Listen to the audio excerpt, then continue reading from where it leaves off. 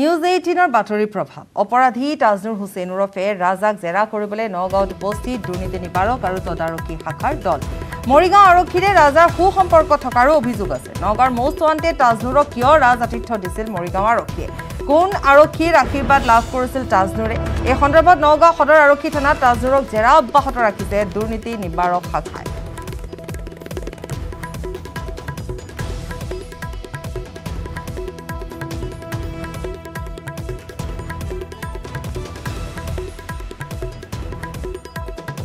অপৰাধী। তাজনুৰ হুছেইন ওৰফে ৰাজাক জেৰা কৰিবলৈ ইতিমধ্যে মুখ্যমন্ত্ৰীৰ তদাৰকী শাখাৰ এটা দল আহি উপস্থিত হৈছে নগাঁও সদৰ আৰক্ষী থানাত আৰু আমি দেখুৱাবলৈ চেষ্টা আহ, এইখন বাহনত বৰ্তমান যি আমি এইখন বাহন দেখুৱাইছোঁ A S zero' one D U eight zero' seven nine number এইখন টাটা চুমু বাহন এইখন বাহনত এণ্ড এণ্টি কৰাপশ্যনৰ যি দেখুৱাইছোঁ আমি তদ ভিজিলেঞ্চ এণ্টি কৰাপশ্যনৰ এটা দল আহি ইয়াত উপস্থিত হৈছেহি।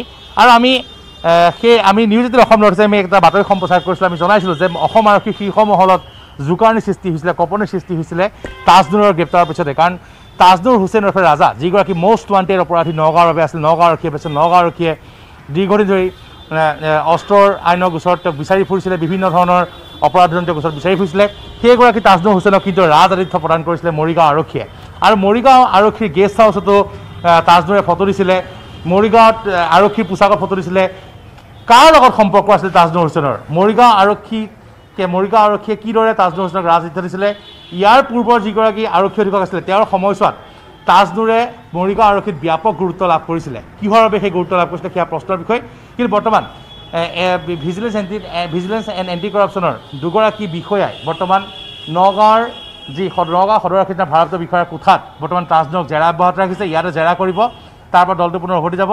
গতিকে এটা কথা নিশ্চিত যে তাজনুৰ হুছেইন ওৰফে ৰাজা যিগৰাকী অপৰাধীক গ্ৰেপ্তাৰ কৰা হৈছে যিগৰাকী অপৰাধীক আৰ্মছৰ গো- আহ, গোচৰত গ্ৰেপ্তাৰ কৰা হৈছে আৰু বিভিন্ন ধৰণৰ অভিযোগ আছে ডকাইতিৰ অভিযোগ আছে বিভিন্ন অপৰাধজনিত গোচৰ আছে যিগৰাকী অপৰাধীক মৰিগাঁও আৰক্ষীয়ে ৰাজআতিথ্য প্ৰদান কৰিছিলে তাক লৈ বৰ্তমান ব্যাপক চৰ্চা হৈছিলে আৰু অৱশেষত আমি জনাইছিলোঁ যে অসম আৰক্ষীৰ শীৰ্ষ মহলত কপনিৰ সৃষ্টি হৈছে তাজনুৰ গ্ৰেপ্তাৰ পিছতে আৰু অৱশেষত দেখিবলৈ পোৱা গৈছে যে ভিজিলেঞ্চ এণ্ড এণ্টি কৰাপশ্যনৰ দল আহি ইয়াত উপস্থিত হৈছেহি বৰ্তমানলৈ কোনো তথ্য প্ৰকাশ কৰা নাই। তেওঁলোকে সংবাদ মাধ্যমৰ কোনো ধৰণৰ তথ্য সদৰি কৰা নাই বা সংবাদ মাধ্যমৰ সন্মুখীন হ'ব তেওঁলোকে বিচৰা নাই।